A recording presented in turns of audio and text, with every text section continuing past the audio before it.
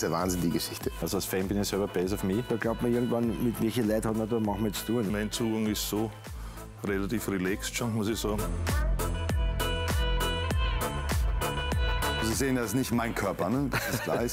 Im Ernst? Im Ernst, ja. Eigentlich hätte ich einen Schädel hier halten müssen. Ich finde es ja auch ein bisschen, ein bisschen unfair, dass das jetzt so strikt getrennt wird.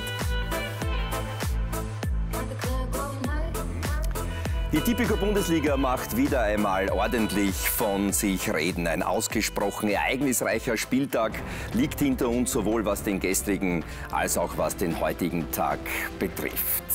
Guten Abend aus dem Sky Fußballstudio. Willkommen bei Talk und Tore der Tipico Fußballdebatte. Ja, die Bundesliga sorgt in diesen Tagen für ausgesprochen, für außergewöhnlich viel Gesprächsstoff. Gut, dass wir heute Gäste eingeladen haben, die auch sehr gesprächig sind. Ich begrüße als erstes den Trainer, den Cheftrainer der Spielvereinigung Ried. Guten Abend, Christian Ben-Benek. Guten Abend. Hallo. Den aktuellen Kapitän der Wiener Austria, Alexander Grünwald. Guten Abend. Grüß Gott, hallo. Ja, bis im Jänner war er noch Cheftrainer des FC Admira Wacker Mödling, mittlerweile beurlaubt. Darüber werden wir unter anderem reden. Guten Abend, Oliver Lederer. Guten Abend.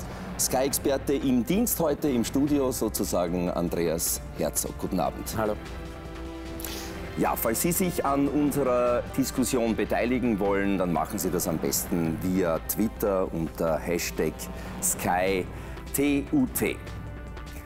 Ja, Christian, natürlich äh, sind Sie gestern ein wenig im Mittelpunkt gestanden. Äh, jetzt 24 Stunden nach dieser bitteren Last-Minute-Niederlage bei der Admira in der Südstadt. Einfache Frage, wie geht's Ihnen? Ja, das, das war gestern auch schon. Äh, anderer Fernsehsender hatte das gleich gefragt. Ich hatte geantwortet, ob die Frage nicht inzwischen verboten ist, dass man das einen äh, Trainer oder Spieler nach dem Spiel fragt. Ähm, 24 Stunden später, ja, es, es, geht einem nicht gut damit. Das ist, äh, ist nie ein schönes Gefühl, äh, auf dem letzten Tabellenplatz zu sein. Ja, das, ist, das ist klar. Haben Sie dann gestern Abend vielleicht in einer Currywurst Trost gefunden oder ähnliches? Nein, nein, nein, nein. Wir haben äh, einfach Rückfahrt äh, nach Hause und nichts weiter.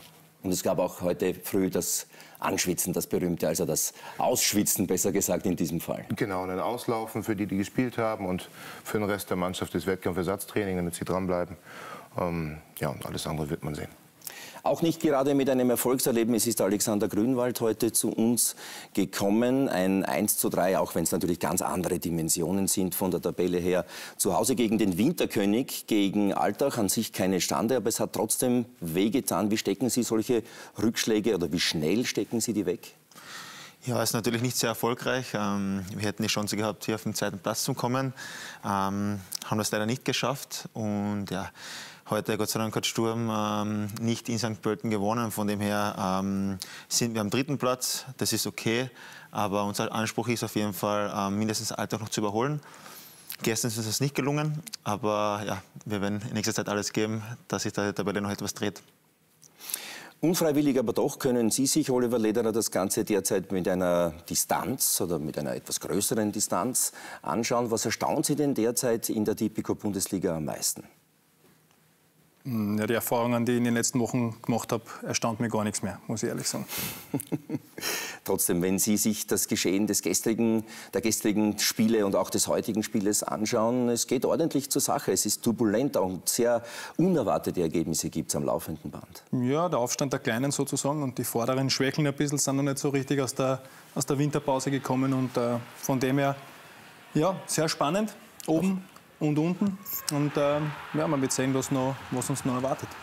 Noch einmal haben wir das Siegestor für den SK in St. Pölten heute Nachmittag gegen Sturm Graz gesehen. In der Nachspielzeit hat Manuel Hartl das entscheidende Tor erzielt für die St. Pöltener. Also auch derzeit bittere Stunden und Tage für Sturm Graz. Andreas Herzog war auch gestern Sky-Experte und zwar bei den Kollegen in Deutschland. In der Allianz Arena waren sie im Einsatz und haben ein 8 zu 0 des FC Bayern über den HSV gesehen. Natürlich auch mit zwei Österreichern auf dem Spielfeld im Einsatz. Was hat Sie am meisten beeindruckt? Ja, schon die Dominanz der Bayern. Also wenn die einmal ins Laufen kommen und wenn der Spielfluss, das war schon imponierend. Also das ist schon eine eigene Liga. Da sieht man auch die, die Mannschaften, die drei, vier Mannschaften, die Europa dominieren können, wie Barcelona, Real Madrid, Bayern München, wenn die einen super Tag erwischen, hast du es als Gegner sehr, sehr schwer, dass du das verteidigen kannst. Aber acht Tore zu bekommen, wie die, wie die Hamburger gestern, die das jetzt fast jedes Spiel in München bekommen, das war schon ziemlich peinlich. Einen dieser Treffer hat David Alaba erzielt. Äh, das 5 zu 0, glaube ich, war es. Und nach dem Spiel haben sie dann live, live im Sky-Studio auch sein verschwitztes Trikot überreicht äh, bekommen. Sie waren ja auch Trainer von ihm, damals als unter 21 Coach. Äh, reißen sich jetzt Ihre Buben drum? um dieses Trikot? Ja, na, die Situation war so, wie ich gehört habe, dass ich die Einladung kriege für, für München, für Sky. Habe ihm geschrieben, dass ich zum Spiel komme, soll Gas geben und ich erwarte von ihm zumindest ein Freistoßtor, weil in Bremen vor ein paar Wochen das entscheidende Tor geschossen hat. Da habe hab ich mir gedacht, dass er zumindest gegen Hamburg auch ein Tor schießen soll, dass die Hamburger nicht zum Schluss in München Punkte mitholen, mitnehmen. Aber ich habe gesagt, ich will ein schönes Freistoßtor sehen. Das war gestern ein, ein, ein Roller ins, ins, leere Tor, aber er hat super gespielt. Also Abstauber, kein, kein Problem. Aber ich mir natürlich, oder ich denke, dass sich meine Kinder noch mehr freuen als ich über, die, über das Originaltrikot. Und er hat eine sehr, sehr gute Leistung abgeliefert in einer tollen Mannschaft. Kommen wir zurück zum Tabellenletzten der Tipico Bundesliga derzeit. Christian Bebenig, wir haben hier eigentlich recht gemütliche, weiche Sessel. Fühlen Sie sich trotzdem derzeit wie auf einem Schleudersitz? Nein. Ähm, also hier sitze ich gut, das ist gut, nichts angesägt, alles gut. Ähm, nein, nicht Schleudersitz kann ich, kann ich überhaupt nicht behaupten. Das ist mehr so, die, die äh, Woche war jetzt extrem unruhig. Ähm, in der Presse, in der schreibenden Presse stand es immer wieder drin, ähm, sitzt dagegen Admira überhaupt noch auf der Bank, sitzt er danach noch auf der Bank. Ähm, ist aber nicht so, dass es ein äh, Thema innerhalb des Vereins ist, das mit mir so kommuniziert wurde. Also von daher äh, immer ruhig bleiben. Ja, gestern Abend sozusagen zur Primetime ist äh, es passiert aus Sicht äh, der SV Ried. Es dürfte so ungefähr um 20.15 Uhr gewesen sein, als das Unheil seinen Lauf nahm. Die Admira ist das in den roten Dressen. Gute Kombination zweier eingewechselter Spieler bei Rami auf Dominik Stakel und der besiegelt sozusagen die Niederlage der SV Ried und damit ist auch festgestanden, dass ihre Mannschaft auf dem letzten Platz bleibt. Was ist da vor allem im Moment des Gegentreffers in Ihnen vorgegangen? Natürlich bricht da viel zusammen, auch in der Mannschaft. Ähm, man muss ja schauen, äh, die Situation die ganze Woche über war nicht leicht. Ähm, du kommst aus dem 6-1, was du gegen, gegen Salzburg verloren hast. Ähm, und klar ist in diesem Spiel, äh, ja, zählt für uns nur der Sieg. Ja, das ist ein, ein, ein, Endspiel, wir wollen es auch so angehen. Äh, die Mannschaft hat überragend gefeitet über 90 Minuten und hat sich zumindest diesen Punkt auf jeden Fall verdient gehabt. So, ja? Ähm, wenn man die Konter besser ausspielt, kann man dieses Spiel gewinnen. Aber die Mannschaft ist vollkommen intakt und fightet die ganze Zeit. Und dann wünscht natürlich, dann nimmst du halt diesen Punkt mit. Das ist die 90. Minute und plötzlich ähm, ja, kommt dieser Todesstoß im Prinzip, der dann, wo du dann nichts mehr machen kannst, auch nichts mehr aufholen kannst. Das ist dann natürlich bitter in der, in, in der Situation.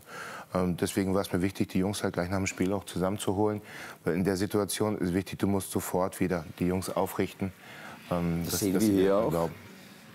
Ja, für mich haben Sie da in dieser Situation unmittelbar nach dem Schlusspfiff Größe gezeigt mit jedem einzelnen Spieler abgeklatscht und auch sind, sie sind auch zu den Fans gegangen und haben sich für die Unterstützung äh, bedankt. Irgendwie hat das Ganze aber dann schon Abschiedscharakter gehabt, oder sehen Sie das anders? Das sehe ich anders, weil ich, ich glaube auch, dass über die Woche, das also in der Presse stand äh, oder ich auch kurz vor dem Spiel noch von, von der Presse angesprochen werde, äh, sie sind sowieso entlassen, egal ob sie gewinnen oder verlieren braucht man natürlich jetzt mal nicht vor dem Spiel unbedingt hören, sowas, aber ähm, ist natürlich schon jede Menge Dampf von dem Kessel gewesen. Äh, weswegen ich den Kreis gemacht habe, ist einfach, die Jungs haben super Fight geliefert über 90 Minuten. Und es ist in der Situation, in der wir gerade stecken, geht es nur um Zusammenhalt in der Mannschaft. Ja, ich wollte nicht, dass die Jungs auseinandergehen, gleich äh, Interviews geben, sondern einmal nur klar machen, das war, das war klasse. Wenn du immer so fightest, dann wirst du auch belohnt werden, dann bist du am Ende von diesem zehnten Platz runter. Und die Fans, das muss man auch mal an der Stelle sagen, wir verlieren 6-1 gegen Salzburg zu Hause. Und du hast über 90 Minuten die Unterstützung der Fans, ähm, nicht einen einzigen Pfiff, was in der Situation normal wäre. Und in diesem Spiel bei der Admira ganz genauso. 90 Minuten Unterstützung und die Fans haben immer ein sensibles Gespür dafür, äh, wenn eine Mannschaft nicht Gas gibt, dass dann Pfiffe kommen oder äh, Trainer rausrufe, vielleicht sowas, sowas hörst du gar nicht. Im Prinzip leben unsere Fans gerade die Geschlossenheit vor, die wir, die wir alle brauchen. Morgen Vormittag oder zumindest im Laufe des morgigen Tages wird dann das sechsköpfige Präsidium, der Vorstand der SVRI zusammentreten und wohl dem Vernehmen nach über das weitere Schicksal von Christian Ben-Benneck entscheiden. Oliver Lederer, Sie haben das Spiel natürlich aus Sicht des ehemaligen Admira-Trainers äh, beobachtet und verfolgt. Äh, wie haben Sie vor allem auch die letzten Minuten dieser Partie und auch die Reaktionen und Emotionen erlebt? Ja, ich kann mir vorstellen, dass das für Ried natürlich ähm, ein Schlag in die Magengrube war, wenn du dann so kurz vor Schluss äh, das, das, das Tor bekommst, das die Niederlage besiegelt, du hast keine Möglichkeit mehr zu reagieren, kannst nicht mehr alles auf die offensivste Karte setzen. Ähm, da kann man dann schon, auch wenn das nicht angebracht ist, Mitleid haben. Ja, natürlich hat es mich, hat's mich aber für die Admira dann am Ende des Tages doch gefreut. Äh, war, war ein super Tor. Ähm, ähm, überlegte Hereingabe vom, vom Eldis Bayrami, der da nicht blind einfach flankt und der Starke hat das, hat das richtig gut gemacht und schwer zu verteidigen. Wenn, dann hätte man die Flanke verteidigen müssen. Ich denke, das Zuspiel in den Strafraum wäre zu verteidigen gewesen, aber der Torabschluss war sensationell. Das hat er super gemacht. Und ähm, ja, mehr lachendes Auge, wenn das, wenn das erlaubt ist, für die Admira und für Ried hat es mir dann leid ja. Man merkt, Sie leben noch mit Ihren ehemaligen Schützlingen mit, ist da aber nur allzu es verständlich. Es ist nach wie vor, die Spieler, es ist nicht viel gewechselt worden, es ist am Transfer gar nichts passiert. Es ist nach wie vor meine Mannschaft, unter Anführungszeichen meine Mannschaft. Natürlich vergönne ihnen den, den Sieg und äh, wünsche ihnen, dass sie sich in der Tabelle auch dort festsetzen, wo sie hingehören. Und das hat am Anfang nicht ganz so ausgesehen. Aber jetzt haben sie mit dem Sieg wichtige drei Punkte gemacht. Denn wenn sie das Spiel verloren hätten, hätte es noch einmal richtig eng nach unten werden können. Andreas Herzog, Sie haben das Geschehen natürlich auch äh, mitverfolgt, diese Runde zumindest auch heute ein wenig nachbetrachtet. Äh, womit hat Christian Bembenek aus Ihrer Sicht jetzt zu rechnen? Ich glaube, dass äh, Ried in den letzten Jahren oder über Jahrzehnte einfach äh, ein Verein war, wo man in Ruhe arbeiten hat können, wo Kontinuität da war. Und jetzt abgesehen vom letzten Platz der Räder ist momentan extrem viel Unruhe drinnen. Einfach der, der Stefan Reiter ist entlassen worden. Also ich glaube, dass da jetzt auch von der Führung her schon langsam die Leute mal ein bisschen die Bremse rausnehmen, das Tempo rausnehmen müssen und dann mal wieder vernünftig miteinander umgehen und arbeiten. Nur so kommst du. So wie die Mannschaft mit dem Trainer zusammenhalten muss, wie es gestern nach dem Spiel bewiesen hast, so muss der ganze Verein jetzt zusammenhalten. Und wenn ihnen das nicht gelingt, dann kann passieren, was wollen, dann werden sie den Verein an die Wand fahren. Markus Klima, mein Kollege, der hat sich das Geschehen gestern vor Ort angeschaut und hat folgenden Bericht zusammengestellt. Und am Ende des Tages muss man sich dann auch noch mit Journalisten herumärgern. Als hätte Sportdirektor Franz Schiemer nicht schon genügend Sorgen. Denn er ist es ja, der Rede und Antwort stehen muss, während die mitgereiste Präsidiumsdelegation, Garleitner und Daxel, hier im Bild links von ihm, es an diesem Abend vorzieht zu schweigen. Ist immer müßig. Äh, Trainer ist natürlich der Erste, äh, der in der Diskussion steht. Spieler kann man momentan nicht auswechseln, das ist es so. Der Trainer hat natürlich die Verantwortung dann auch für, für die sportliche Leistung, das ist ganz klar. Ein letztes, demonstratives Mutmachen vor dem Spiel. Versteinerte Minen anschließend 90 Minuten lang. Und während die Entscheidungsträger kurz nach dem Schlusspfiff die Köpfe zusammenstecken, ist seiner vielleicht schon nicht mehr zu retten. Einfach nur ein Danke an jeden Einzelnen oder doch mehr?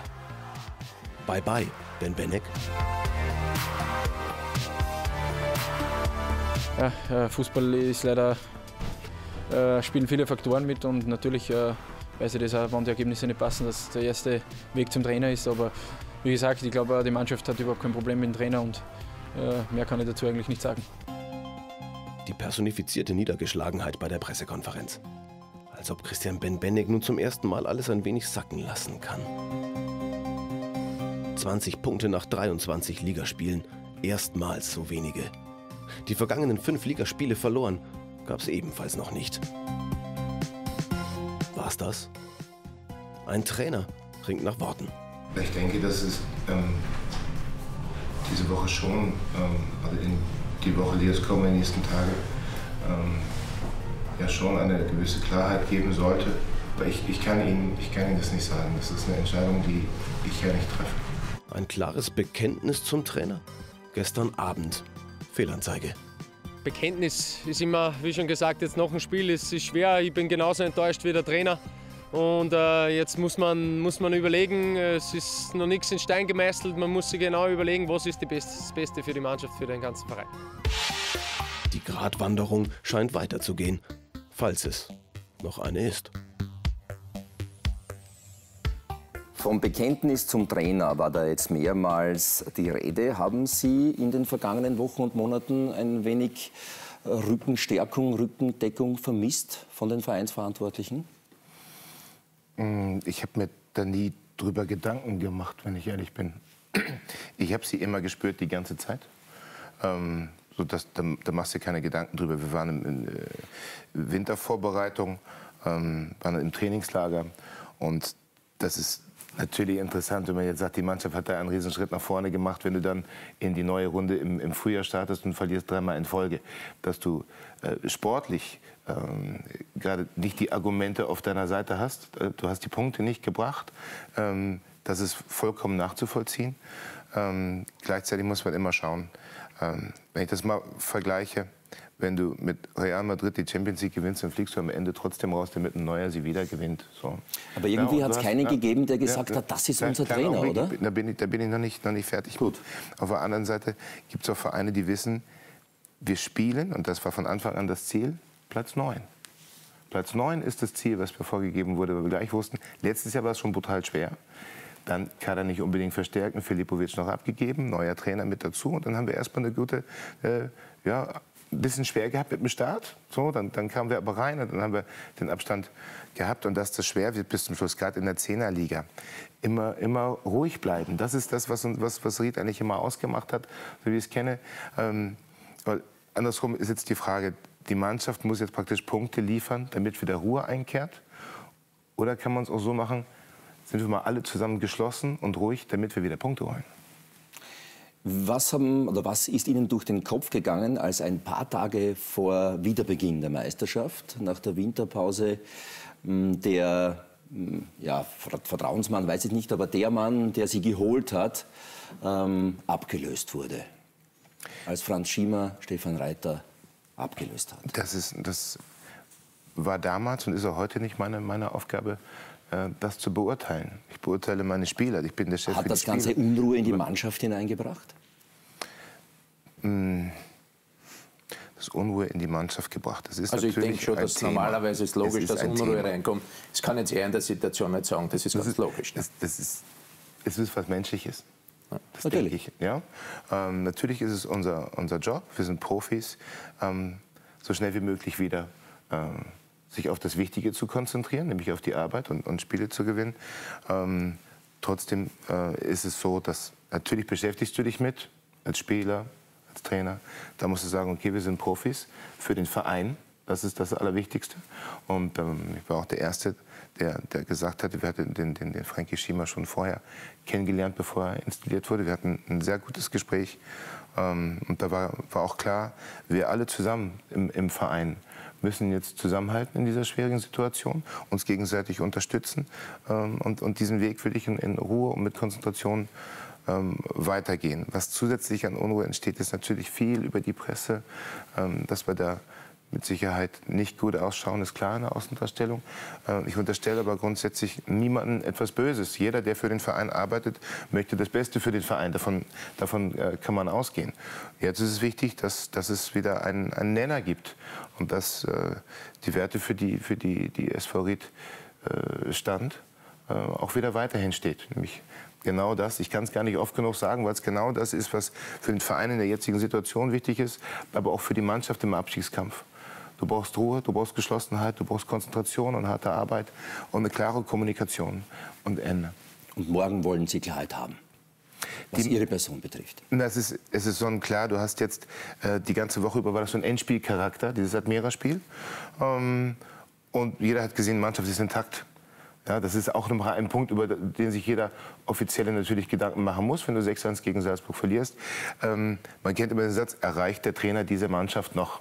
So, aber 6-1. Und ich denke, jeder, der gestern zugeschaut hat, der sieht ganz genau, diese Mannschaft ist intakt. Sie fightet so. Und die wichtigen Spiele, das habe ich auch immer gesagt, die kommen erst noch, die direkten Duelle. Da musst du dann da sein. Und das schaffst du natürlich viel mehr, wenn du, wenn du Klarheit hast. Und das braucht genauso die Mannschaft, aber auch äh, Trainer und Trainerteam braucht jetzt diese Klarheit, egal wie man sich entscheidet. Man kann auch sagen, okay, wir hatten jetzt hier ein, ein wahnsinns, wahnsinns unruhige zwei Wochen und, und ein bisschen, bisschen Chaos im, im Umfeld. Das ist unser Trainer, das ist unser Trainerteam, weil ich kenne die Mannschaft am besten. Das muss man mal, mal, mal ganz klar sagen. Was passiert denn im anderen Fall? Da geht es jetzt gar nicht so sehr um meinen Kopf, sondern es geht um Mannschaft, um Verein. Kommt jemand Neues, er muss die Mannschaft kennenlernen.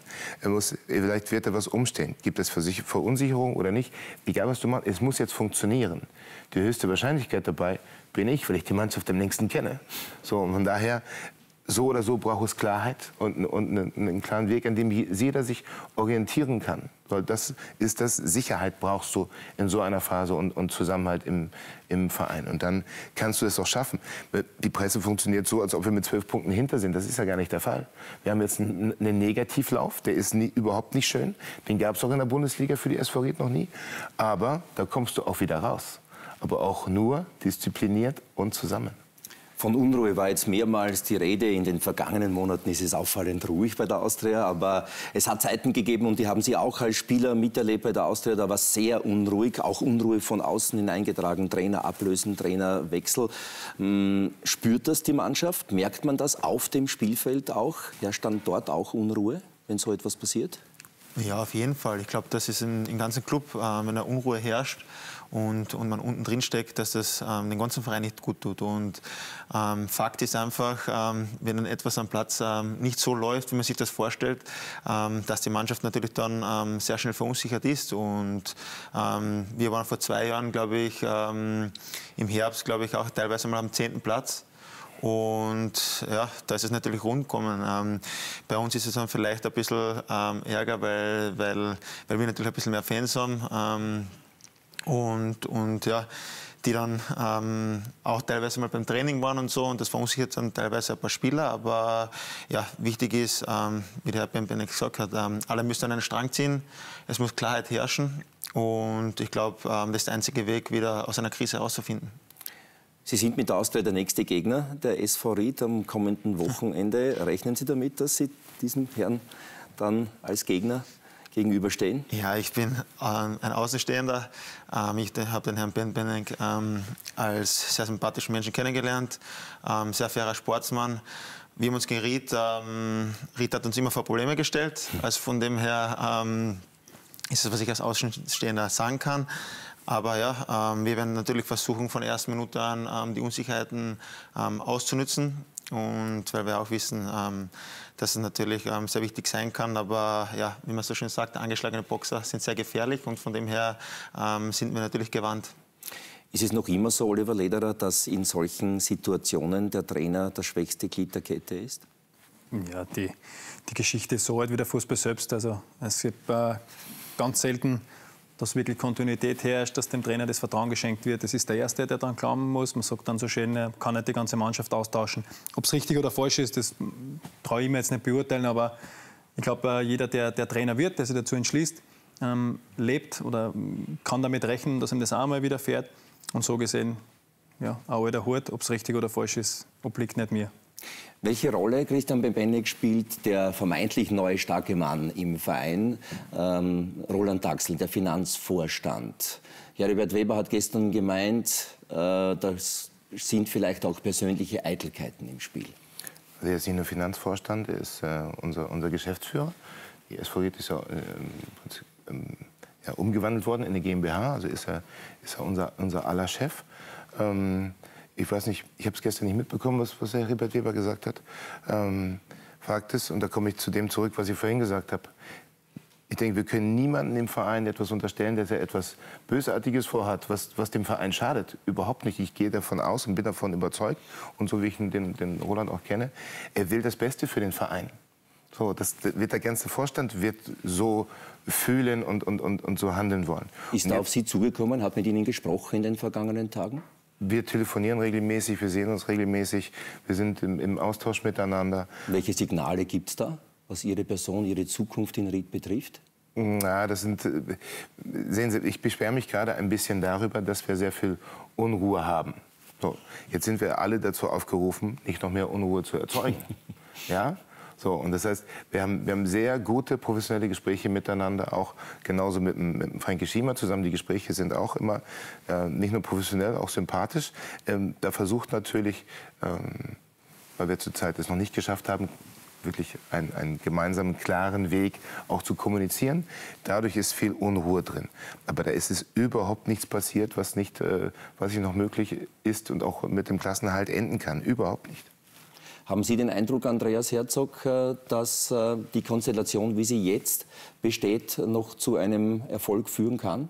Ich denke, dass das Anfang der Saison auch der Start ein bisschen holprig war. Und dann ist man in einen Lauf gekommen. Genau das Gleiche kann jetzt passieren. Das Problem ist halt auch nicht nur, dass die, die Rieder jetzt die Spiele verloren haben, sondern dass Mattersburg gleichzeitig aus den ersten zwei Spielen Ja. sechs Punkte geholt hat. Jetzt ist die Situation natürlich noch verschärft. Heute gewinnt St. Pölten. Dann ist das Mhm. klar. Aber, aber das ist einmal im Fußball so. Die Liga ist momentan für mich ein bisschen verrückt. Oder überhaupt der Fußball, wenn man sieht, dass der Ranieri als Meistertrainer entlassen wird. In Österreich, glaube ich, gibt es fünf Krisenclubs von, in einer Zehnerliga. Also momentan ist anscheinend modern, über, über Krisen zu reden, statt dass man irgendwas Positives rauskommen will. Wenn du natürlich Tabellenletzter bist, musst du dir der Situation stellen. Das ist ganz logisch. Und wie gesagt, es nutzt jetzt nichts, wenn der eine einen anderen Vorwurf macht. Man muss zusammenhalten und versuchen, da so schnell wie möglich wieder rauszukommen. Apropos Meyerhofer, auch Tanga ist da zu den Mattersburgern gekommen, Cesar Ortiz. Waren Sie jetzt dann in der Folge als Außenstehender unter Anführungszeichen auch ein wenig überrascht, dass gerade in Ried im Winter keine Verstärkungen geholt wurden? Naja, es ist ja nur ein Zeichen da, ähm, dafür, dass man der Mannschaft vertraut hat und dem Trainerteam. Und jetzt äh, zwei Runden später ist dann, oder drei Runden später ist dann alles anders.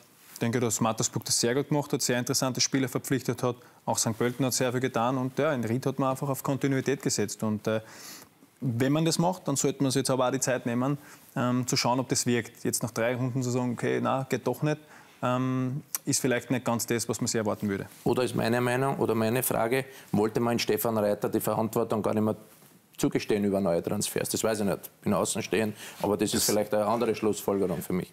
Also das, das kann, ich, kann ich nicht beurteilen, das steht mir auch nicht zu. Ähm, Hätten Sie gerne wichtig ist- Verstärkungen gehabt? Genau das ist, genau das ist der Punkt, wo wir, ähm, ich damals noch mit dem Stefan immer im Austausch war. Und wenn man sieht, wo es bei uns hapert, dann sieht man natürlich, okay, unsere Offensive, wir könnten schon mehr Tore schießen. Darüber wären wir alle nicht unglücklich, wenn das, wenn das so wäre. So, und dann ist genau die Frage, ähm, welchen Stürmer können wir uns leisten, finanzieren? Was kostet ein, ein Stürmer, was kostet ein Spieler, der uns 15, 10, 10, 15 Tore in der Rückrunde garantiert? So, und wenn man dann an den Rand kommt, weißt okay, den kannst du nicht finanzieren, dann brauchst du nicht mehr drüber nachdenken. Aber Ähnliches hat man sich, glaube ich, im Sommer bei der Verpflichtung von Orhan Ademi erwartet. Ein paar Runden sind da schon gespielt gewesen, weiß ich schon, war vor Ende der Transferzeit. Äh, Warum Genau. hat der überhaupt nicht oder kaum Er eingeschlagen? hatte, er hatte sofort im ersten Spiel St. Pölten hat er sofort getroffen. Richtig. Ja, da hatten wir sofort gedacht, okay, jetzt haben wir unseren, unseren Neuner gefunden, der jetzt regelmäßig trifft. Ist am Ende dann nicht so gekommen. Ist bei Transfers immer so, dass es, äh, ja, ist, äh, man hofft immer, dass es funktioniert. Ja? Ähm, er hat in Alltag, äh, in, in jungen Jahren, äh, hat viel getroffen, tolle, tolle Jahre gehabt, wo, be- bevor er dann äh, nach Braunschweig transferiert wurde. Dort wollte er immer Stürmer Nummer eins werden, ist ihm, ist ihm nicht gelungen. Und dass wir jetzt überzeugt waren, alles klar, komm äh, praktisch zurück, ähm, komm zu uns, hier bist du unser, unser Stürmer Nummer eins. Äh, am Ende wird er, wird er auch an Toren gemessen. Er hat immer wieder die, die Chance bekommen. Äh, und dann wird es natürlich, wenn die Ergebnisse ausbleiben, wird es dann auch als Trainer schwierig, irgendwo immer wieder auf ihn zu setzen. Das habe ich 10, 12 Mal, glaube ich, in, in Folge getan. Ähm, und dann kam die Wintervorbereitung und Marvin Ego kommt steil aus dem Gebüsch, der, der, der äh, gar nicht berücksichtigt wurde von mir, der an sich gearbeitet hat. Ähm, hat eine ganz tolle Vorbereitung gespielt, hat jetzt auch äh, ja, das, das Tor gegen Salzburg gemacht, ähm, hat jetzt ein bisschen Knieprobleme. Das heißt, auch Orhan wird noch wichtig werden im Laufe, Laufe dieser, dieser, dieser restlichen Spiele. Trotzdem ist wohl die fehlende Offensivkraft irgendwie augenscheinlich bei den Riedern in dieser Saison. Wir haben da ein paar Fakten zusammengetragen. 19 Tore hat die Mannschaft von Christian Bembenek bisher erzielt. Das sind die wenigsten. Erstmals zu diesem Zeitpunkt der Saison so wenig in Ried. Und vor allem in den vergangenen 13 Spielen hat die Mannschaft nur fünf Tore erzielt, 26 bekommen übrigens. Das tut besonders weh.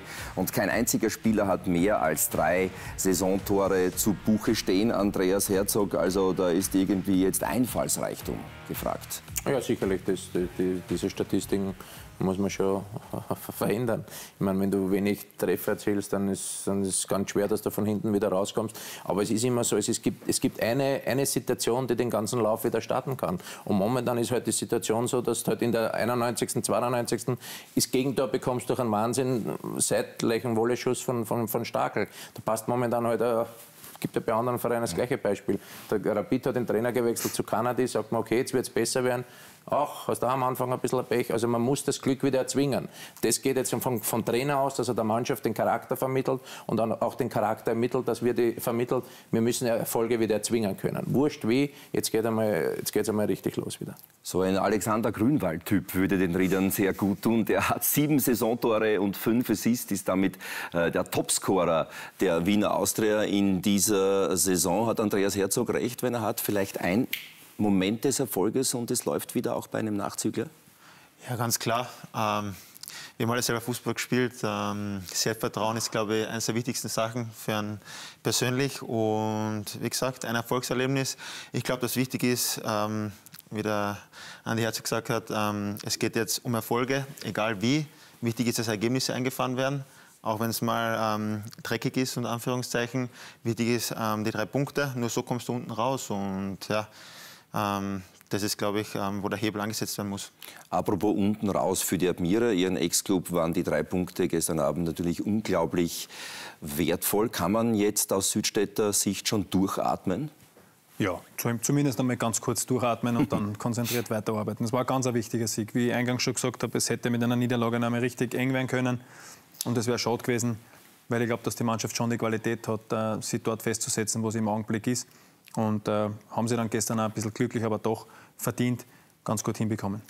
Wir haben es heute schon mehrmals angerissen. Das Trainerkarussell in Österreich scheint sich in dieser Saison besonders schnell zu drehen und der eine oder andere ist davon runtergefallen. Es war aber dann trotzdem irgendwie überraschend, dass Sie Anfang Jänner abgelöst wurden oder zumindest beurlaubt wurden äh, von der Admira. Mittlerweile sind ein paar Wochen vergangen. Sie werden sicher für sich selbst ein wenig rekapituliert haben, auch was die Art und Weise der Ablöse betrifft. Was bleibt da übrig?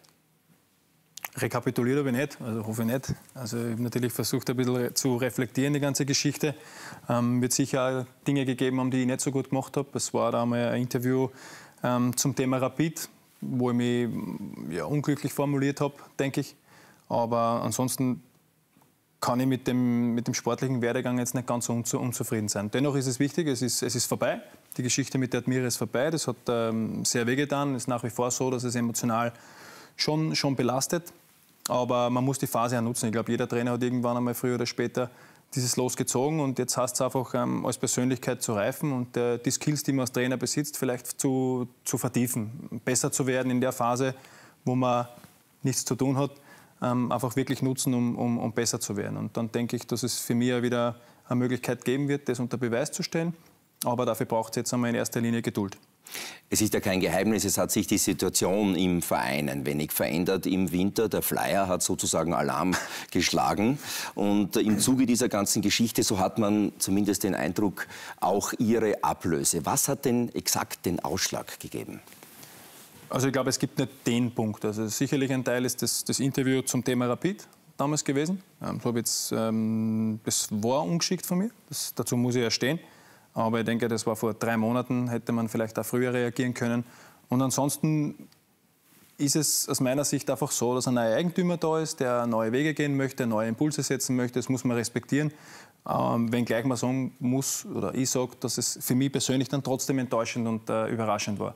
Aber Hector jetzt keinen kein Groll. Es ist einfach so, dass, dass der, die, das Flyalarm das jetzt übernommen hat und äh, neue Wege gehen möchte und mit Würzburg äh, zusammenarbeitet, dort ja auch der Hauptsponsor ist Andreas Herzog. Wie überraschend war denn das für Sie, dass, als Sie gehört haben am 3. Jänner, Oliver Lederer ist nicht mehr Admira-Trainer. Ich glaube, wie für jeden anderen auch. Es war schon sehr, sehr überraschend. Ich meine, am überraschendsten und am schlimmsten war es wahrscheinlich für den Olli, aber man sieht einfach, dass der, dass der Trainerjob momentan extrem verrückt ist. Also das haben wir eh schon öfters erwähnt, aber du kannst einfach nur versuchen, Erfolg, Erfolg, Erfolg zu haben, aber trotzdem darfst du dich als Person nicht verändern. Also ich meine, es ist schon so, dass jeder seine, seine Grundtugenden und seine Charaktereigenschaften haben, aber nur aufgrund des Erfolges. Damit ich unbedingt Erfolg habe, dass du da irgendwie dich komplett veränderst, das geht auch nicht, weil sonst merkt ja die Mannschaft, dass du jetzt nicht authentisch bist und wenn du ihnen immer nur was vorspielst, hast du sowieso schon verloren.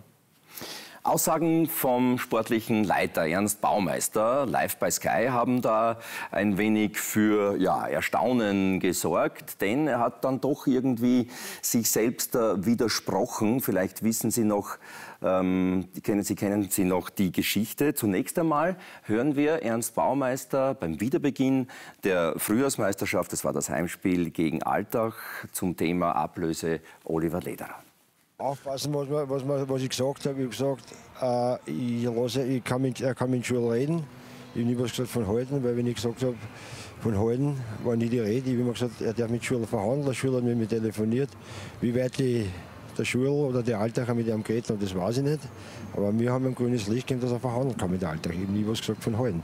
Ich habe gesagt, er hat bis 2018 Vertrag, aber Reisende sollen wir nicht aufhalten. Tja, wir haben aufgepasst, lieber Ernst Baumeister. Es ging also um eine Anfrage, um das Anklopfen der Altacher, äh, um eine mögliche Verpflichtung von Oliver Lederer, der, der damals noch Admira-Trainer war. Und wir haben diese Aussagen, von denen jetzt gesprochen wurde, von denen die Rede war, die stammen vom 10. Dezember, uns noch einmal genauer angehört. Ich gehe davon aus, dass er bei uns bleibt. Wir wollen ihn nicht hergeben. Er hat Vertrag bis 2018. Ich gehe davon aus sogar, dass wir irgendwann jetzt in naher Zukunft mit einem vielleicht über eine Verlängerung reden werden. Also unser Gedanke ist eigentlich nicht dieser, dass wir ihn abgeben wollen, weil wir sind sehr zufrieden mit unserem Trainer. Und es ist kein Grund vorhanden, warum soll man hergeben. Entsteht da womöglich jetzt ein Wettbieten zwischen diesen beiden Vereinen? Nein, das glaube ich nicht. Er, ist bei uns, er hat nur eineinhalb Jahre Vertrag bei uns und ich gehe davon aus, dass er den erfüllen wird. Aus was für einem Grund er weggesollt hat, weiß ich nicht. Der, der ist halt Alltag, weiß ich nicht. Was, was haben, was wir nicht haben. Aber sonst kann man sich nicht vorstellen, dass er von uns weggeht. Also, und dann kam alles ganz anders. Ein paar Wochen später hat das bei Ihnen ein wenig Kopfschütteln ausgelöst? Nein, ich glaube, das Gesagte spricht eh für sich. Sie wollen das gar nicht kommentieren? Nein, also die Aussagen von Ernst Baumeister kommentiere ich nicht mehr. Das heißt, eine Freundschaft ist da irgendwie zu Ende gegangen? Nein, gar nicht. Das ist äh, auf professioneller, professioneller Ebene einfach eine Entscheidung getroffen worden, die ich so zur Kenntnis zu nehmen habe. Aber wie gesagt, also das, das Gesagte spricht dann für sich. Für sich. Und ähm, ob Freundschaft hin oder her, der Ernst Baumeister ist der Ernst Baumeister, man weiß, dass er so redet, wie ihm der Schnabel gewachsen ist. Und ähm, es war dann für mich einfach überraschend, ja, weil Dinge gesagt worden sind, die ich so jetzt nicht unterschreiben kann. Und äh, man hat es auch wieder gesagt, äh, jetzt auch wieder gehört, ich habe einfach mit meiner Zukunft bei der Admira gerechnet und äh, die ist je zu Ende gegangen und äh, da hat es einfach Ungereimtheiten gegeben. Und ich glaube, man hätte das einfach klarer kommunizieren können, mir gegenüber. Und äh, vielleicht liegt es aber auch an meiner Naivität dem Verein gegenüber, dass ich nicht gescheit zugeguckt habe. Äh, Im Zuge der Zusammenarbeit mit den Würzburger Kickers äh, hat es auch, ich, also hören wir, ein Gespräch zwischen Ihnen und Bernd Hollerbach, dem Cheftrainer, gegeben, als Sie noch Admira-Trainer waren. Äh, hat dieses Gespräch irgendwas bewirkt, irgendeinen Ausschlag gegeben? Nein, das hat damit gar nichts zu tun. Also war, ähm, die Würzburger waren in Tirol auf Trainingslager und äh, da haben wir trainingsfrei gehabt, es war eine Länderspielpause und die Zeit wollte ich einfach nutzen, weil diese Kooperation, Kooperation im, im Raum gestanden ist um mit dem Bernd Hollerbach einmal ein Gespräch äh, zu führen, das ähm, die allgemeine Ausrichtung im Verein klären hätte sollen, die Abgleichung der Spielphilosophie. Es ist dann doch so, dass, dass ich ähm, als junger Trainer schon auf eine Art und Weise stehen möchte, Fußball zu spielen. Und ich denke, das auch in einer oder anderen Partie ganz gut hinbekommen habe. Und äh, deswegen der Austausch mit dem Bernd Hollerbach. Ja, der neue Trainer bei der Admira heißt äh, Damir Buric. Andreas Herzog, welchen Eindruck haben Sie von ihm bisher und von der Art und Weise, wie er die Mannschaft spielen lässt? Ja, es ist schwer zu sagen. Ich meine, es sind drei Runden gespielt. Jetzt hat er, glaube ich, zweimal unentschieden gespielt. Jetzt das Spiel gestern mit dem letzten Torschuss gewonnen. Also bis jetzt ist ganz okay der Einstand, das ist klar. Aber, aber irgendwas muss passiert sein über Nacht, dass auf einmal solche Entscheidungen getroffen Das ist das Lustige, Entschuldigung, dass ich dich unterbreche. Es ist das, mit, egal mit wem man redet, ist, äh, es kommt immer auf das, auf das Thema, es muss was passiert sein. Und es ist aber nichts passiert. Ja? Und ich selber stelle mir auch auf die Frage, was habe ich getan, was ist passiert. Und äh, genau deswegen, es ist beim Herrn auch wieder ein Telefonat geführt, genau darum geht es. Was hast du gemacht? Nein, nein, ich, ich Ja. meine jetzt gar nicht, Ja. dass von ihm was passiert ist, sondern dass, dass der Sponsor oder irgendwie Mhm. die Kooperation das gesagt hat, okay, wir wollen einen Neustart, wir fangen aber gleich mit einem neuen Trainer an oder so. Das ist mein, mein Gedanke, weil warum soll irgendwas ausbessern, was echt gut funktioniert. Ne? Also das meine ich mit, dass es muss irgendwas über Nacht, eine Idee von irgendwem bei, bei Admira oder bei Würzburg gekommen sein, wo sie gesagt haben, okay, wir müssen jetzt was anderes ausprobieren und dann, dann, dann fangen wir gleich mal mit dem Trainer an. Ja, bitte. Ich, ich muss dazu auch was sagen. weil Gerne. Das, weil das, ähm, das regt mich seit Jahren auf. Ich habe jetzt gerade die, die Fotos gesehen vom Oliver mit dem, mit dem äh, Baumeister Ernst. Ähm, da habt ihr wahrscheinlich gerade ein Spiel gewonnen gehabt. Und alle, alles hier genau das. Super. Ähm, das vergisst man immer so leicht, ähm, wenn, wenn alles gut läuft und alle haben sich schrecklich lieb und alles ist gut. Und dann kommt plötzlich der Punkt, an dem es halt nicht weitergeht, wo ein Verein anders plant oder sonst irgendetwas. Ähm, da fehlt es mir immer, dass man dann noch anständig bleibt. Ja, sondern sich an solche Szenen nämlich genauso erinnert und sagt, okay, und da kann man den Trainern, die sowieso eigentlich immer unter Feuer sind, unter Strom sind und am Ende eigentlich das, das, das, äh, das schwächste Glied sind, denen kann man ruhig ein bisschen mehr Vertrauen schenken. Ähm, das sollten Vereine auch für sich wissen. Ähm, setz dich mit dem Trainer zusammen, erklär es vernünftig, alles gut und dann ist okay. Und dann kann man sich die Hand geben und, und dann, dann passt das alles. Weil so ist das Geschäft, auf das man sich eingelassen hat. Aber man braucht nicht dieses Spielchen, dass man jetzt überlegt, ähm, der Oliver überlegt jetzt, okay, was, was ist denn bitte gewesen? Und habe ich mich an einer Stelle vielleicht nicht gut ausgedrückt, aber sonst hat er über Jahre doch tolle Arbeit gemacht. Also muss irgendwas gewesen sein, so habe ich es auch damals empfunden, als es passiert ist. Aber dann setzt euch doch zusammen und sprecht miteinander und dann, und dann passt es auch alles. Das ist noch, die, die Menschlichkeit darf dabei nicht auf der Strecke bleiben. Das ist immer das, was, äh, was ich wichtig finde. So, es ist eh schon ein knallhartes Geschäft. Und dabei kann man trotzdem Mensch bleiben und anständig miteinander umgehen. Deswegen, das gehört sich so. Wie stellen Sie sich denn, Oliver Lederer, jetzt Ihre Zukunft vor? Sie haben jetzt doch, äh, waren bei mehreren Vereinen, korrigieren Sie mich im Gespräch, nicht nur bei den Altachern, sondern auch bei Wacker Innsbruck? Nein.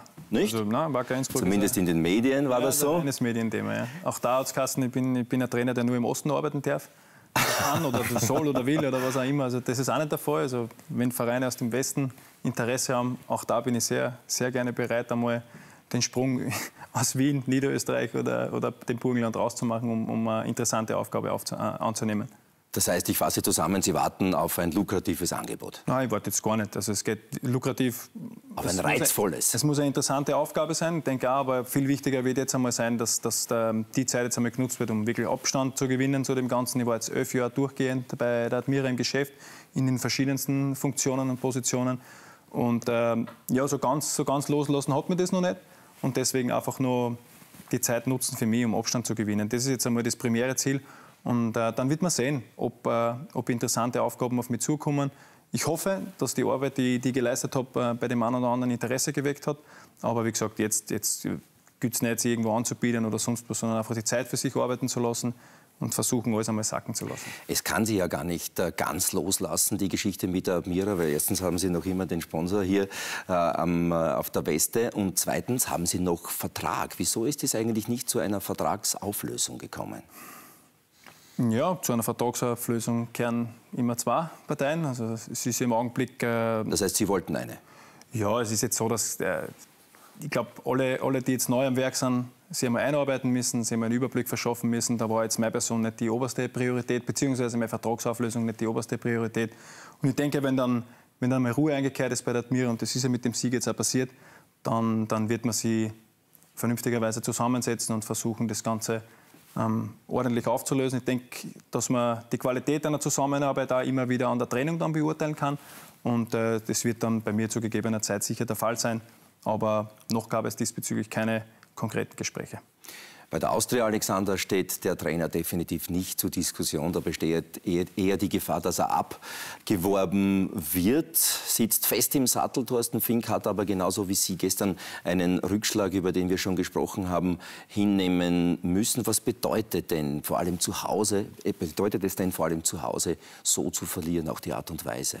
Ja, als Austria Wien ähm, will man natürlich jedes Spiel in dieser Liga gewinnen. Ähm, vor allem, wenn es ein, unter Anführungszeichen eher kleineren Club, obwohl er in diesem Jahr jetzt vor uns ist, ähm, zu verlieren, tut natürlich ähm, oder ist doppelt bitter.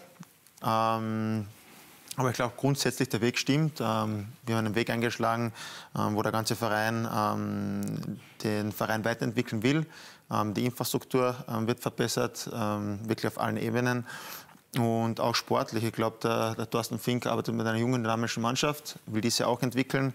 Ähm, ja, man sieht, ich bin, glaube ich, äh, mit 27 der älteste Stammspieler. Ähm, das zeigt allein schon, ähm, wie jung unsere Mannschaft eigentlich ist. Und von dem her, glaube ich, stimmt der Weg. Ähm, natürlich gibt es noch einige Dinge, die zu verbessern sind. Aber grundsätzlich ja, arbeiten wir als Team mit dem Thorsten Fink gerne zusammen, ziehen alle an einen Strang und ich glaube, da sieht man auch ähm, eine Kontinuität am Platz. Bei der Austria geht es immer um den Spielstil schon seit Jahren und der wird äh, in den vergangenen Monaten auch ein wenig kritisiert. Der aktuelle Spielstil, können Sie mit dieser Kritik irgendetwas anfangen? Ja, es ist klar, Austria Wien steht ähm, für einen technisch äh, versierten Fußball. Steht sogar das, in den Vereinsstatuten. Ja, genau, das ist ganz klar. Ähm, Gibt es auch viele Legenden, ähm, die technisch auch ähm, oder gute internationale Karrieren ähm, gemacht haben. Von dem her sind wir uns dem schon bewusst. Ähm, ja, ich glaube, damals unter ähm, Karl Daxbacher ist ein sehr guter Fußball gespielt worden. Da waren sehr viele Spieler, die ähm, jetzt im Nationalteam spielen. Und, aber unter anderem muss man dann auch sich hinterfragen. Wir sind damals nicht Meister geworden obwohl Herr, äh, Herr Daxbauer wirklich ein sehr, sehr guter Trainer ist. Ähm, dann ist der Peter Stöger gekommen. Ich glaube nicht, dass wir jetzt ähm, wirklich gezaubert haben oder jeden Spieltag wirklich ähm, jeden Gegner in Grund und Boden gespielt haben. Äh, wir haben wenig dem Zufall überlassen. Wir haben mit Manfred Schmidt auch einen guten Co-Trainer gehabt, waren top eingestellt, haben auch, glaube ich, damals als erste Mannschaft äh, mit den abkindenden Sechser zwischen den zwei Innenverteidiger gespielt. Das hat es damals in Österreich eigentlich gar nicht gegeben. Und hatten einen entfesselten Philipp Hosiner. Ja, genau. Das war auch ein, ein großer Baustein damals. Er hat 32 Tore gemacht. Ohne ihn wären wir wahrscheinlich ähm, nicht so, so leicht Meister geworden. Und ja, dann ähm, ist jetzt äh, Thorsten Fink seit längerer Zeit wieder Trainer da, der was länger im Verein ist. Das ist ja äh, in den letzten Jahren ja auch nicht so oft. Und ja, wir sind auch immer top eingestellt. Also wir überlassen wenig den Zufall, ähnelt ein bisschen dem Peter Stöger damals. Und ja, äh, wie gesagt, wir, wir wissen, ähm, dass wir kritisiert werden, ähm, weil wir teilweise ab und zu vielleicht ähm, zu lange im Ballbesitz sind, aber das ist unser Spiel. Also mir als Spieler macht es Freude, ich will den Ball haben und mir ist lieber die andere Mannschaft läuft den Ball hinterher als ich und ich glaube, wir haben alle selber Fußball gespielt. Dass man nicht jeden Ball blind nach vorne spielen kann, ist glaube ich auch klar und es ist auch kein Zufall, dass wir in der ähm, zweiten Hälfte viele Tore schießen, weil der Gegner dann ähm, auch nicht die Intensität ähm, im Verschieben mit dem Block halten kann äh, wie zum Beispiel erste Halbzeit. Und von dem her ähm, haben wir unsere Spielphilosophie ich glaube, wir sind in den Europacup gekommen, ähm, sind letzter Dritter geworden. Jetzt ist alles möglich. Von dem her, glaube ich, ähm, sind wir auf einem guten Weg. Und für mich ist, geht das schon in Ordnung. Und Sie tragen die Nummer 10 mit Stolz und Würde, genauso wie es früher Andreas Herzog gemacht hat. Wie sehen Sie die Rolle von Alexander Grünwald in der Mannschaft und vor allem auch seine Entwicklung? Naja, er ist Kapitän, er ist der Leader in der Mannschaft und ist natürlich im Offensivbereich der Angelpunkt, der Dreh- und Angelpunkt. Und das ist für mich äh, das Wichtige im Spiel der Austria, dass er in den entscheidenden, in den entscheidenden Zonen am Spielfeld in Szene gesetzt wird. Bei der Austria ist es oft so, vor allem erste Halbzeit, dass sie viel Ballbesitz haben, aber im Niemandsland oder in der eigenen Hälfte. Darum schießen sie erste Halbzeit relativ wenig Tore. Zweite Halbzeit sie dann einen Zahn zu und dann, dann geben sie auch die Räume, dass er die Bälle durchstecken kann auf die schnellen Außenspieler oder am Kajode. Und dann kommen die Möglichkeiten von der Austria natürlich zum Tragen. Schmunzeln habe ich ein bisschen lachen äh, müssen zuerst, weil er gesagt hat, gegen Alltag, gegen einen kleineren Verein, die sind Zweiter, die waren Wintermeister. Also so überraschend ist jetzt das steckt noch immer im Hinterkopf. in dieser Saison ja. sind es vor uns, aber grundsätzlich äh, spielen wir bei Austria Wien und ja, Alltag ist jetzt vor uns, aber unser Ziel ist auf jeden Fall Alltag noch zu überholen und ja, wenn man das Spiel gestern gesehen hat, ähm, ohne jetzt die Leistung von Altern zu, zu schmälern. Ähm, wir haben natürlich auch nicht ähm, unser bestes Level an den Tag gebracht, aber ja, ähm, und haben ein paar individuelle Fehler gemacht. Und natürlich ist das dann schwierig. Diese individuellen Fehler haben auch zu den Gegentreffern äh, geführt. Die Altacher haben das äh, kaltblütig ausgenützt. Rotbuller haut da daneben und das 1 zu 0. Andreas, schön gemacht von Gamalö. Ja, schön gemacht, aber es war natürlich unglücklich von Rotbuller, der jetzt im Frühjahr auch sehr, sehr stark spielt. Aber das sind halt unangenehme Gegenspieler. Oberlin im Herbst noch von Alltag, jetzt dann Kamalö. Also die sind schon schwer zum Verteidigen. Und vor allem es ist einfach so, dass die eine extreme Effizienz haben. Jetzt vielleicht im letzten Spiel gegen St. Pölten nicht so, aber auch im, in, im Herbst, wenn die Altacher Möglichkeit haben, schlagen sie zu. Und das, das ist momentan die große Stärke von ihnen. Aber zurück noch, ich möchte noch was sagen zu dem, zu dem Thema. Ja. Ähm, wir gehen halt dann raus in das Spiel und wollen das Spiel machen, ähm, wollen eigentlich für, für ein gutes Spiel stehen. Und natürlich spielt es dann ähm, Alltag in die Karten. Ähm, natürlich mit, mit ihrer, was nicht, 3-5-2, was sie spielen, oder Fünferkette. ähm, sie machen das sehr gut. Sie stehen dann wirklich kompakt ähm, und es ist wirklich schwer, dann in die Räume zu kommen. Also, und haben dann vorne zwei super Spieler. Ähm, das machen sie ja wirklich gut. Und das spielt ja dann in den Karten, wenn sie dann 2-0 gegen uns führen. Aber das ist das Bizarre am Fußball. Eigentlich die Mannschaft, die Fußball spielen will und von der ersten Minute eigentlich probiert, ins Spiel zu kommen und eigentlich einen schönen Fußball spielen wird, wird dann im Endeffekt dann dafür bestraft. Obwohl ich dann sage, im Endeffekt, Alltag hat verdient gewonnen. Sie haben die Tore gemacht, haben, haben gut verteidigt und waren an dem Tag einfach ähm, cleverer als wir. Und wenn wir schon mitten im Analysieren sind, dann schlage ich vor, Andreas, dann machen wir gleich weiter. Wir haben den Aktionsradius und vor allem auch die Rolle, die Alexander Grünwald gestern gespielt hat, uns noch einmal näher angeschaut. Er hat wenige Räume vorgefunden, Andreas. Ja, die Altacher wissen natürlich auch um die Stärke der Austria vom Alex. Und hier sieht man, dass er das jetzt im Vergleich zu den letzten Monaten dass der Raphael Holzhauser dann auch mehr nach vorne geht und dass da ein Wechselspiel gibt. Und das macht die Austria normalerweise auch schwerer auszurechnen. Vor allem die zwei Spieler sind beide einen extrem starken linken Fuß, können das Spiel jederzeit mit einem entscheidenden Pass entscheiden oder selber mit einem Weitschuss irgendwie zum Abschluss kommen. Also es ist schon, äh, das sind für mich die entscheidenden Dinge. Das, diese Pässe sind halt gestern leider nicht, nicht angekommen, sonst hätte die Austria vielleicht eh das Spiel gewinnen können. Ja, aber das ist, weiter vorne. Das ist die, die, Situation, wo ich meine, wo der Alex den Ball am Fuß hat und dann kommen halt natürlich meistens extrem gute Vorlagen für, für die schnellen Stürmer. Ja, Sie haben die meisten Torschüsse auch gestern der Austria verzeichnet, nämlich fünf, aber auch die meisten Ballverluste produziert von den Austria-Spielern. Liegt das am Risiko, das Sie eingehen bei Ihren Zuspielen? Ja, natürlich. Ähm, auf meiner Position muss man Risiko nehmen. Ähm, das zeichnet, glaube ich, auch mein Spiel im Endeffekt aus, weil, weil ich versuche, nach vorne zu spielen. Und ähm, ähm, glaube, das ist auch äh, meine Stärke. Und ja, Ballverluste gehören dazu. Natürlich, wenn es jetzt die meisten sind, so wie gestern, ähm, ist nicht mein Ziel. Aber ja, auf meiner Position hat man heute auch gesehen, oder jetzt bei der Analyse gesehen, dass, dass ich immer zwei, drei Gegenspieler um mich herum gehabt habe. Und dann ist es natürlich ein bisschen schwieriger, als wenn ich jetzt ähm, weiter hinten spiele und, und das Spiel ein ähm, bisschen lenken kann und verteilen kann, ist natürlich ein bisschen einfacher, um weniger Ballverluste zu haben. Aber mir gefällt die Position. Ich bin meistens dort dabei, wo es gefährlich wird. Und ja, das ist mein Spiel und ich bin trotzdem ähm, glücklich und werde eigentlich mein Spiel nicht, nicht verändern. Ja, schauen Sie mal, welchen Aktionsradius Sie da gestern gehabt haben. Also überall zu finden. Wir sehen die Pässe, die angekommenen sind die blauen und die nicht angekommenen sind die roten. Andreas Herzog, kann man sagen, Alexander Grünwald ist noch so ein richtiger Zehner, richtiger Spielmacher alter ja. Schule? Ich bin glücklich darüber, dass es so eine Position noch immer gibt. Es ist einfach die, die, die Spielweise, wie der Spieler hat, dass du einfach die entscheidenden Dinge machst. Und wie ich gesagt habe, wo er spielt im Zentrum vor der Abwehr, ist der Raum am engsten. Und dann musst du da halt auch schneller mal ein Pass spielen, direkt spielen oder so die Ablage mit der Ferse. Das ist extrem hohes Risiko. Geht der Ball rein, rennt der Mitspieler allein aufs Tor. Gestern sind diese, mit, äh, diese Pässe eben nicht aufgegangen und durch das haben sie die Altacher da gut verteidigen können. Und das Risiko musst du einfach gehen. Also, ich mein, ich habe jetzt natürlich eine Vorliebe für die Position, weil ich das selber gespielt habe, jahrelang. Und da habe ich auch die Ideen, wie man, wie man die Position umsetzen kann. Und es hat ja jahrelang geheißen, es gibt keinen Spielmacher mehr, aber es muss trotzdem einen Kreativen geben, der, wenn er einen Ball am Fuß hat, wo die drei, vier anderen Offensivspieler wissen, okay, bumm, Jetzt müssen wir die Räume attackieren mit einem Lauf, weil der Ball kommt dorthin, wo er hingehört. Sie nicken, Christian, sehen Sie es ja, aber du, du, siehst ja bei den, bei den Pfeilen gerade, du siehst ja keine roten Pfeile in der eigenen Hälfte. Ja, das ist ja schon mal gut. Er ist da, holt sich mitunter Bälle ab, spielt sicher, kriegt den Ball und vorne musst du dann auch dieses Risiko gehen. Er versucht Bälle zu stecken. So, das sind aber mit, mitunter auch Aktionen. Er selber gesagt, Philipp Hesse möchte gar nicht spielen, aber mitunter ist das Risiko. Das ist aber auch eine Zone, wo du den Ball verlierst, wo du auch genauso gut ihn gleich zurückerobern kannst. Äh, Und umgekehrt hat der Gegner dann von da aus nochmal 70 Meter Vorlauf zum, zum, zu, zu einem eigenen Tor.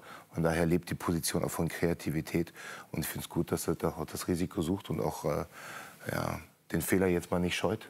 Ja, weil nur Alibi-Spielen auf der Position funktioniert halt nicht. Sondern er ist der Spielgestalter und dann sind Fehler auch automatisch mit dabei. Soll es ihn noch geben, weiterhin geben, den richtigen Zehner, Oliver? Auch aus Ihrer Sicht, den richtigen Spielmacher? Ja, herrlich. Nur zu begrüßen. Aber zu Austria ist ja auch zu sagen, dass sie, dass sie drei wahnsinnig kreative Mittelfeldspieler haben. Also mit Tarkan Serpest, äh, Holzhauser, Grünwald, das ist schon sehr, sehr kreativ und ballsicher.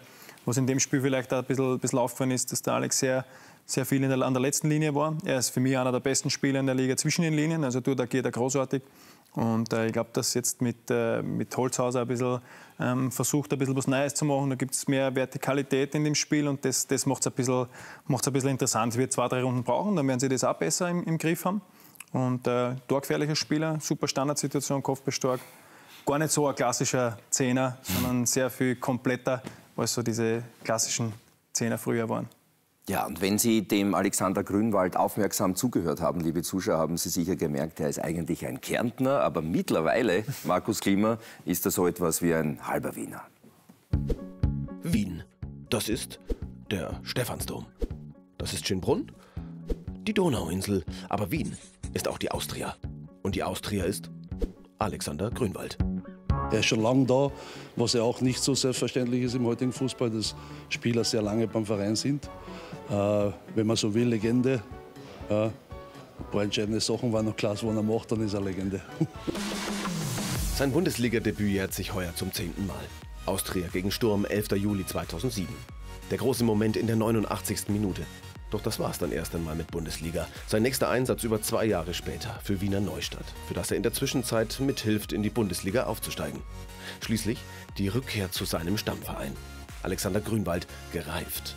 Denn seit Sommer 2011 absolviert er 148 Ligaspiele für die Austria. Sein wohl größter Erfolg? Meister 2013. Ja, er ist jetzt schon sehr lange im Verein. Ähm, er genießt einen sehr hohen Status und ein hohes Ansehen hier. Ist einfach ein positiver Junge, der was extrem wichtig für die Mannschaft ist. Alter Spieler schon bei uns in der Mannschaft mit 27 Jahren und das, glaube ich, sagt dir alles aus. Alexander Grünwald, Goalgetter. Sein erstes Profitor 2007 für die Austria Amateure. In der Bundesliga sind es seit Sommer 2011 stolze 35.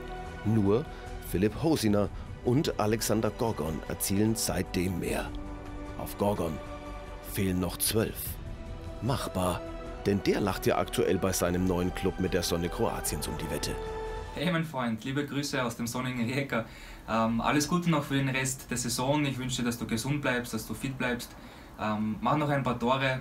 Herzlichen Glückwunsch natürlich auch noch zur Vertragsverlängerung. Ist eine tolle Sache für dich. Ich glaube, dadurch bist du auf dem Weg zur Austerlegende. Und hoffentlich sehen wir uns bald und alles Liebe noch. Ciao, Papa. Alexander Grünwald und die Austria. Eine Ehe fürs Leben.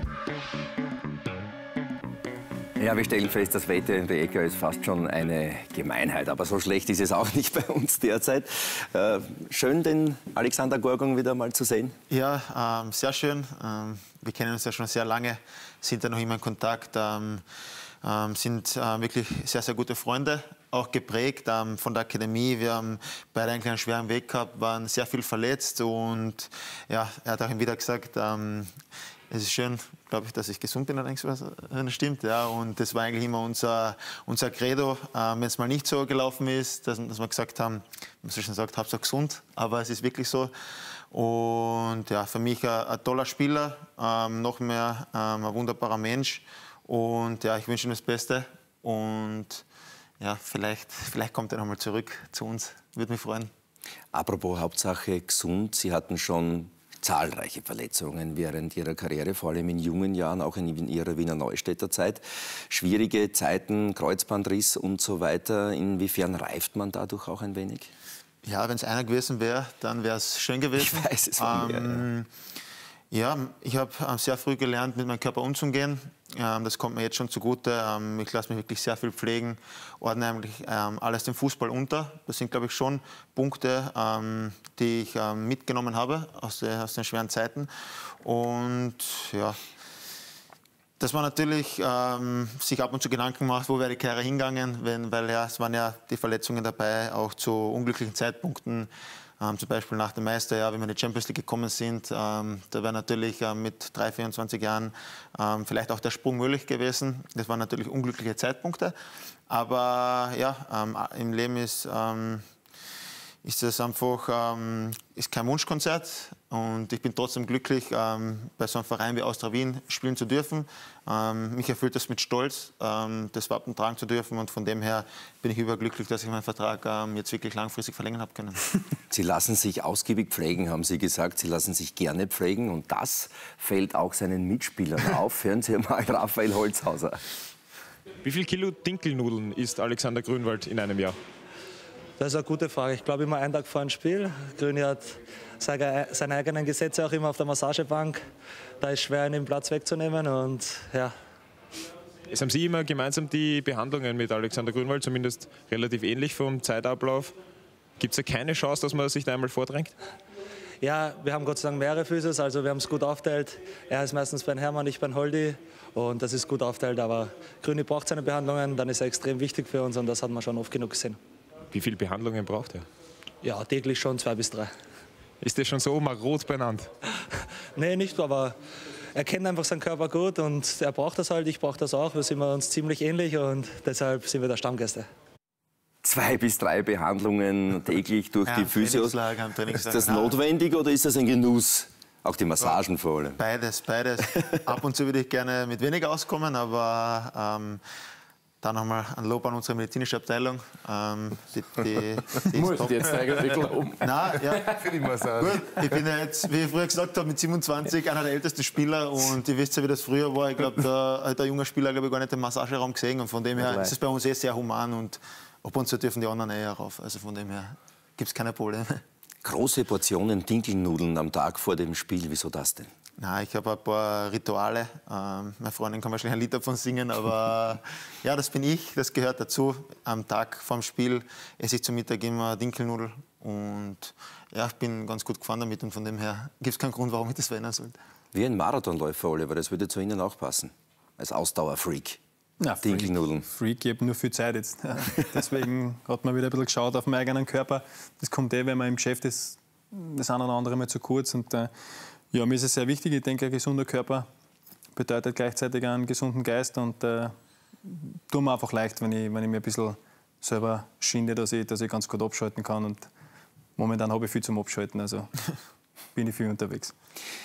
Vier Jahre ist der, oder für vier Jahre ist der Vertrag abgeschlossen worden, Alexander Grünwald. Doch äh, ein ordentlicher Zeitraum. Inwieweit ist das für Sie auch Bestätigung durch den Verein? Ja, das war, war ein Grund. Ähm, oder mir war es wichtig generell, ähm, ich wollte einen langfristigen Vertrag haben. Das hat die Austria von Anfang an gewusst. Ähm, ich hätte auch die Möglichkeit gehabt, im Ausland einen langfristigen Vertrag zu unterschreiben.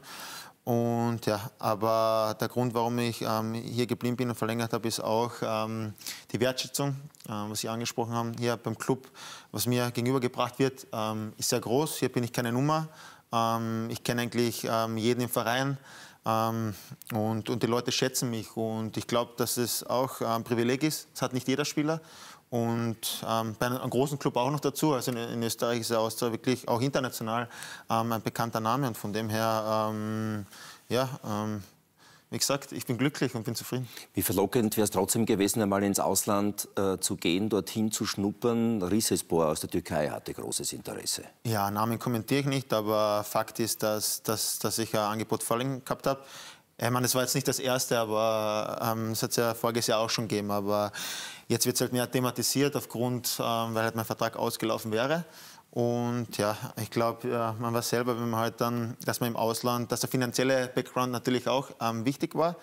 Und generell als junger Spieler ist es Traum, Ausland, da will man, will man hin, in Österreich weiterentwickeln, dann weiterkommen. Das ist mir verwehrt geblieben bis jetzt und, und jetzt war die Entscheidung, mache ich den Schritt oder mache ich ihn nicht. Und ja, ähm, zurückzukommen, wenn man dann halt den Vertrag vorliegen hat, was man dann wirklich im Ausland verdienen kann, dann fängt man halt zum Überlegen an. ähm, weil fürs spätere Leben ähm, ist es natürlich, ähm, wäre das ein schöner Polster gewesen. Da musste Wobei- dann Franz Wohlfahrt ein bisschen was ja, drauflegen. wobei ich sagen muss, dass, dass, dass die Austria ähm, mir wirklich für österreichische Verhältnisse ein, ein sehr, sehr gutes Angebot gemacht hat. Ähm, haben wirklich ähm, nichts unversucht gelassen. Ähm, Gar nicht schlecht, wenn der Sportdirektor auch ein Kärntner ist. Ja, verstanden haben wir uns. Ja. Das, war, das war nicht das Problem. Also von dem her. Aber die Dinkelnudeln ist er nicht mit dir, oder? Nein, das ist glaube ich nur mehr Salat, glaube ich. Aber ja, und dann habe ich eben, dann habe ich eben den Vertrag unterschrieben. War sehr spontan und ja, jetzt ist ich hier und Vertrag. Der Andreas Herzog darf das sagen, glaube ich. So zum Thema Wohlfahrt. Immer um Essen, wenn du hier bist. Ja, Das war nicht so ein. Beim letzten Mal, Ja, beim letzten Mal um die Currywurst, Ja, natürlich. das schon, Ja. immer wenn er hier ist, geht zum. Essen. Nein, aber, Nein, aber ich, ich, verstehe seine Beweggründe, aber ich hätte ihn sicher gerne einmal in der deutschen Bundesliga gesehen. Mit seinem linken Fuß hätte er da sicher auch, äh, eine Karriere machen können. Ja, ich hätte natürlich spekulieren können jetzt und sagen, ich gehe jetzt in, ins Frühjahr rein, ich gehe in den Sommer und schaue, was passiert. Aber ich bin, und vielleicht wird der Schritt kommen von der deutschen Bundesliga. Also es war jetzt nichts Konkretes aus Deutschland da, von dem her, ich meine, die zweite deutsche Bundesliga, das war für mich kein Reiz. Also da, da, wie gesagt, da habe ich die Möglichkeit bei der Austria international zu spielen, habe die Möglichkeit, Titel zu gewinnen. Das habe ich in der zweiten deutschen Liga nicht. Okay, jetzt kannst du halt Zweiter, halt Meister in der zweiten Liga, aber ja, von dem her war das für mich keine Überlegung und ähm, wenn man halt dann selber das durchgemacht hat, was ich gemacht habe, dann, dann wollte ich Planungssicherheit.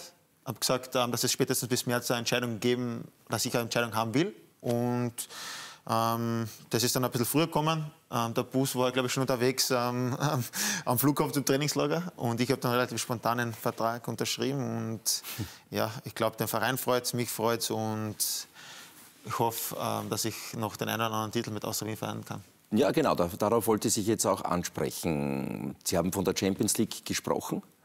Gibt es das Ziel mit der Austria, ähm, in den nächsten zwei, drei Jahren dort wirklich wieder hinzukommen? Ja, normal, wenn man grundsätzlich als österreichischer Verein von der Champions League spricht, ist es natürlich schwer hineinzukommen. Aber ich bin selbst am Platz gestanden, wie wir, wie wir in die Champions League gekommen sind. Und von dem her ist es nicht unrealistisch. Ähm, Ich habe das am eigenen Leib miterleben dürfen. War wirklich ein unglaubliches Gefühl. Habe dann halt aufgrund der Verletzung ähm, nicht mitwirken können in der Gruppenphase.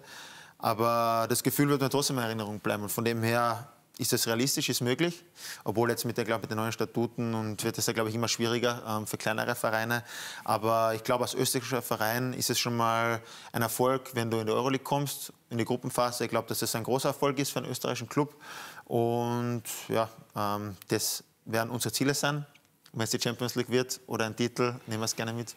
Ja, Ziele haben wir alle im Leben. Oliver Lederer, wir wünschen dem Christian Benbenek natürlich alles Gute, auch äh, für morgen, was die Entscheidung des Vorstandes der SV Ried betrifft. Aber wäre das einmal so eine reizvolle Aufgabe für Sie, die SV Ried zu trainieren? Boah, das finde ich jetzt total respektlos. Nein, ich-. Nein, also das ist nicht aktuell- respektlos. Aktuell, nein, nicht, nicht, jetzt von dir, sondern jetzt äh, da gegenüber die, die Frage will ich jetzt ja gar nicht beantworten. Ich denke, äh, die SV Ried hat einen sehr sympathischen, sehr kompetenten Christian Bembenek auf der Bank sitzen und ähm, ist gut beraten, das vielleicht auch bis zum Ende, mindestens bis zum Ende der Saison- auch so durchzuziehen. Und äh, wenn es irgendwas anderes ergibt, dann, dann bin ich gern bereit. Aber wie gesagt, die SV Ried ist gut beraten, mit dem Christian Bembenek weiterzumachen. Ich frage Sie nämlich aus einem ganz bestimmten Grund. Es gab im Vorfeld der Sendung schon Gerüchte, dass Sie möglicherweise schon kontakti- kontaktiert worden sind von der Vereinsführung von Roland Daxel. Was ist da dran? Ich bin Kontakt, nein, da ist nichts dran. Hätten wir das auch geklärt. Ja, morgen Training einmal am Vormittag, nehme ich an. Nee, freier Tag. Freier Tag. So schaut's aus. Ja. Und dann harren Sie der Dinge, die da kommen. Ja, genau. Es ist wichtig, dass wir, ähm, ich glaube, der Verein setzt sich morgen zusammen. Das ist sowieso nötig. Das ist wichtig für den Verein. Ähm, und dann bin ich davon überzeugt, dass nach allem, was jetzt passiert ist, ähm, die Situation ist jetzt jedem klar. Und gehe davon aus, dass die, die sechs Vorstände, die jetzt zusammenkommen, das Beste für den Verein entscheiden werden, alles abwägen. Und wie gesagt, noch einmal, ich glaube, der Stefan Reiter hat es auch letztens gesagt, als er hier war, ähm, das ist ein familiärer Verein und auch wenn ich noch nicht so lange da bin, äh, du bist mit ganzem Herzen dabei. So, und von daher wünsche ich mir natürlich, äh, dass ich Trainer für diese Mannschaft weiterbleiben kann. Die Mannschaft ist, äh, ist auf Platz 10 und trotzdem muss man mal sehen, die sind, das sind großartige Jungs, einen tollen, tollen Charakter, diese Mannschaft und wir werden es zusammen schaffen. Ob mir das äh, ja, ermöglicht wird, ähm, kann ich jetzt nicht sagen, aber ich wünsche es mir natürlich. Ja, und es bestehen die Chancen definitiv, Andreas Herzog. Die Mannschaft ist punktegleich mit dem SV Ich meine, natürlich muss man schon jetzt alles analysieren, aber es ist ja überhaupt kein Grund, Panik zu schieben. Also wichtig ist, dass die, dass die Offensivspieler treffen in Zukunft. Genau. Und am besten gleich jetzt gegen die Austria. Nein, das war jetzt noch eine Retour. Ja, wenn Sie keinen von mir aus Freistoß können kriegen, wir die direkt- schießen, wir schießen drei, dann ist es auch in Ordnung. Offensivspieler, die Oh. Ja, ähm, ist natürlich, ähm, wie gesagt, ich glaube, jeder hat das mal mitgemacht, das nicht so gut grenzt im Fußball. Aber ja, nächste Woche ähm, will ich, glaube ich, nicht gleich viel wie du. Und von dem her, ja, bin gespannt. Wird ein gutes Spiel, glaube ich. Offensivspieler, die treffen, gibt es derzeit auch beim FC Schalke 04 und das sind vor allem Österreicher, Alessandro Schöpf und Guido Burgstaller, ein, ja, einer der besten Freunde von Alexander Grünwald, auch aus den vergangenen Jahren. Nicht nur deshalb, weil er ein Kärntner ist. Wie beobachten Sie das, was dem Guido, da, dem Burgi, wie Sie sagen, gelingt? Ja, ich habe noch einen ganz anderen Namen für ihn, aber Den äh, lassen wir bleibt lieber. unter uns. Ja. ähm, ja, ich finde, ähm, er hat sich das wirklich ähm, sehr verdient. Ähm, überall, wo er war, egal ob bei Wiener Neustadt, dann Rapid, ähm, dann Cardiff, okay, ist nicht so gelaufen, aber Nürnberg und dann Schalke, überall, wo er war, hat er sich durchgesetzt. Das ist, glaube ich, seine Mentalität. Er ist, ist wirklich ein Kämpfer, ähm, zusätzlich zu seinen fußballischen Qualitäten. Und ja, wie gesagt, ein bisschen ein Mentalitätsmonster. Und ich glaube, bei Schalke kommt das wirklich sehr gut an. Und, und ja, seine Tore sprechen für sich. Aber er ist wirklich, ich meine, das ist auch ein super Mensch, wir haben viel durchgemacht auch und ähm, ich wünsche ihm wirklich das Beste und mich freut es wirklich, ähm, dass sich auch die Österreicher in der deutschen Bund Bundesliga etablieren. Und jetzt kann wohl auch äh, der Teamchef nicht mehr an ihm vorbeisehen. Meine Herren, ich danke für ein interessantes Gespräch, hat mir sehr viel Spaß gemacht. Danke auch fürs Kommen ins Studio. Die Hinweise fehlen natürlich noch. Sky ist am Mittwoch wieder für Sie da mit dem zweiten Viertelfinale aus der EBEL und zwar Graz gegen Red Bull Salzburg. Am Freitag dann wieder die Sky Go Erste Liga um 20.30 Uhr mit dem Höhepunkt sozusagen ein richtiger Schlager Lask gegen Wacker Innsbruck. Das war Talk und Tore am heutigen Sonntag im Namen des Teams. Dankeschön fürs Zuschauen. Bleiben Sie am Ball.